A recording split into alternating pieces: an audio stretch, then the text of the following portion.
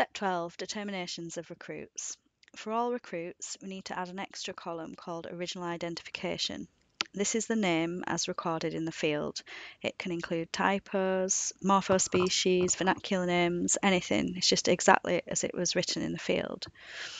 The easiest way to do this is to copy the species column and rename it.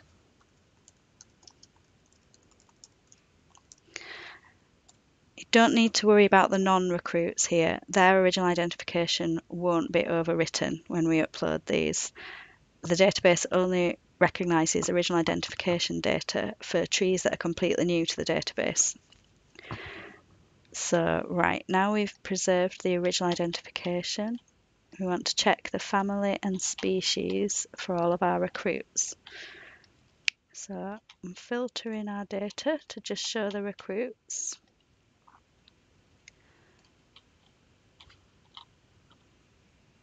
Now we need to check that each of these has a family and a species. The family needs to be standardized to APG3 and the species is actually it's binomial, genus and species. Any blanks need to be filled in. If we don't know the identification, we just use indet.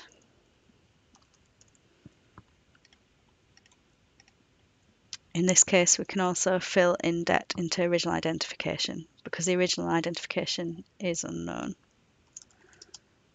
And in the species column, we need to enter a binomial, so it's "in debt". indet indet. Here we have a family, but no species binomial. So again, this is indet. And the original identification is Lauraceae. Okay, so now we leave original identification as it is and just check the species.